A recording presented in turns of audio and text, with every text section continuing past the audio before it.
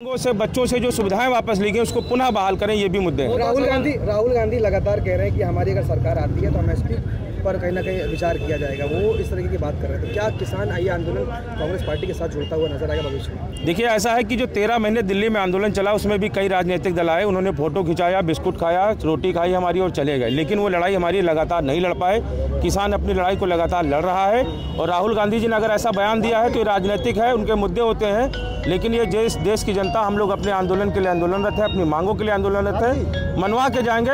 राहुल गांधी जी अगर कहते हैं कि उनकी सरकार आएगी और वो एमएसपी गारंटीड कानून बनाएँगे तो किसान को विश्वास करना हो क्योंकि मत देना ये सब लोगों का व्यक्तिगत अधिकार है इसके लिए हम नहीं सर कहेंगे बहुत बड़ी शर्म की बात है नौजवान जो है बॉर्डर पे होता है और किसान कहीं ज़मीन पे होता है। आज नौजवान कहीं और है और किसान बॉर्डर पे बहुत शर्म का कैसे देखते हैं सर इसको? देखो ऐसा है कि नौजवान और जवान एक दूसरे के पूरक है कहीं अलग अलग नहीं है।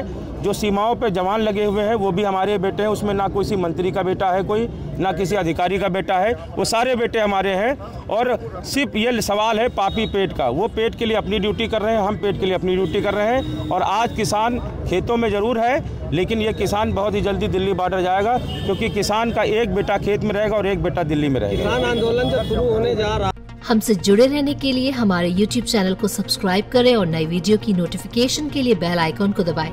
अगर आप ये वीडियो Facebook पर देख रहे हैं तो लाइक ज़रूर करें और ज़्यादा से ज़्यादा शेयर करें धन्यवाद